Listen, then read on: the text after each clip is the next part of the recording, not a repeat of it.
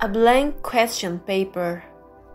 One day, a professor entered the classroom and asked his students to prepare for a surprise test. They waited anxiously at their desks for the test to begin. The professor handed out a question paper with a text facing down as usual.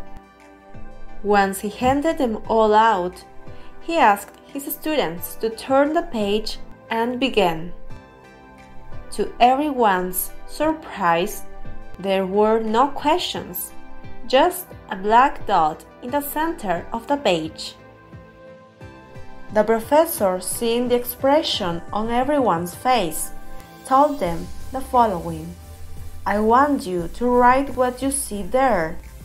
The confused students got started on the inexplicable task. At the end of the class, the professor took all the answer papers and started reading each one of them aloud in front of all the students. All of them, with no exceptions, described the black dot, trying to explain its position in the middle of the sheet. After all had been read, the classroom was silent. The professor began to explain, I'm not going to grade on you this. I just wanted to give you something to think about.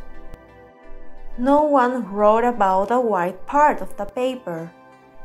Everyone focused on the black dot and the same time happens in our lives.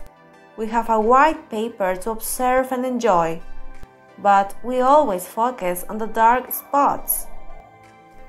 Our life is a gift given to us by God with love and care.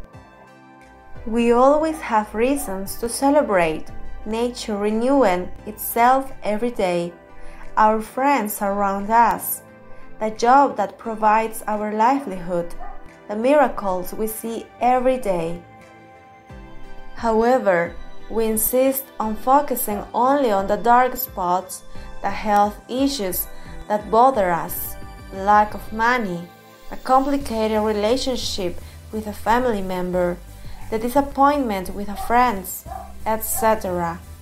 The dark spots are very small compared to everything we have in our lives, but they are the ones that pollute our minds. Take your eyes away from the black spots in your life. Enjoy each one of your blessings, each moment that life gives you. Be happy and live a life positively. The moral We must always concentrate greater on the positives for a healthy and happy life. Life goes on no matter what, so don't waste your time thinking about the negatives.